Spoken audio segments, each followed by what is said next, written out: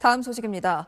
김정은 북한 국무위원장이 5박 6일 동안의 러시아 방문을 마치고 평양으로 돌아갔습니다.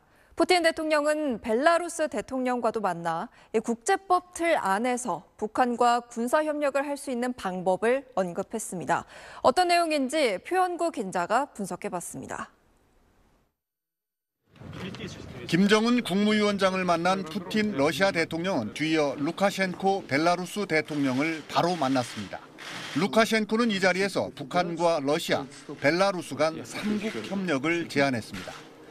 북한이 벨라루스에 무기를 제공하면 벨라루스가 이를 러시아에 공급하는 방식으로 풀이됩니다. 러시아는 유엔 대북 제재 결의 위반을 피해갈 수 있습니다. ничего никогда не нарушаем, и в данном случае ничего не собираемся нарушать.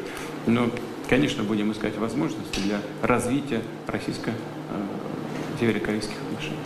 3자 협력 방식은 한국이 우크라이나에 무기를 공급하는 일부 나토 국가에 무기를 수출하는 방식과 유사합니다. 지난해부터 푸틴 대통령은 북한과 협력할 수 있다고 으름장을 놓으며 한국의 우회 수출을 경고한 바 있습니다.